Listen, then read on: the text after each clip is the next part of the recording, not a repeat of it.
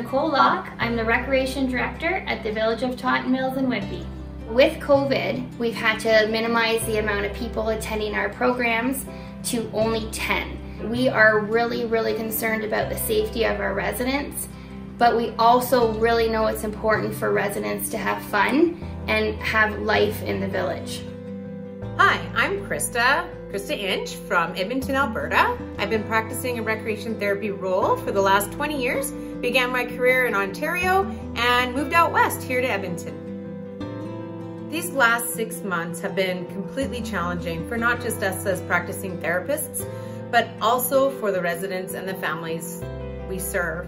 Um, I think the biggest barrier, the biggest challenge that I've had to face is the social isolation and the depression risk in which the residents are going through. Music is such an important part in the village.